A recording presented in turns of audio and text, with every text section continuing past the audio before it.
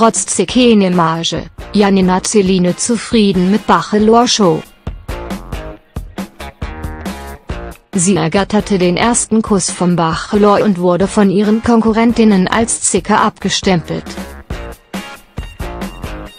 Der Bachelor-Kandidatin Janina Celine Jahn leistete sich legendäre Streitigkeiten mit ihren Villa-Mitbewohnerinnen.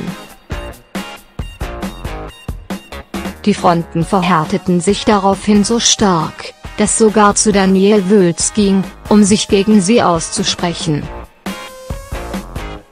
Doch die lebensfrohe Blondine fühlt sich nicht falsch dargestellt. Gegenüber Promiflas verriet die gebürtige Sylterin, wie zufrieden sie mit ihrer Darstellung im Dating-Format ist. Ich glaube, niemand kommt exakt genauso rüber, wie er auch im wahren Leben ist.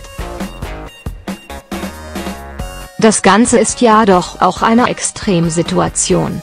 Und tatsächlich hätten die Zuschauer auch recht viel von der Messi-Hostess gesehen.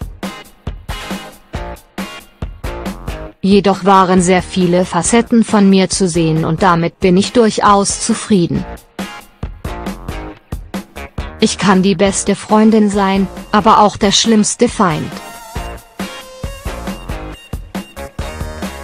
In der vierten Nacht der Rosen ging die Celine leer aus und musste ihre Koffer packen. Ihr Ausscheiden hatte sich ihr persönlich bereits angekündigt. Bachelor hatte bei ihrem zweiten Einzeldate viele Zweifel an ihrer Motivation geäußert. Allerdings war die 23-Jährige nach der Entscheidung nicht komplett am Boden, denn wenn das Interesse auf der anderen Seite nicht da sei, dann sei es eben nicht da. Wie fandet ihr Janina Celine beim Bachelor? Ganz toll. Ich verstehe nicht, warum der Bachelor sie rausgeschmissen hat. Nicht so toll.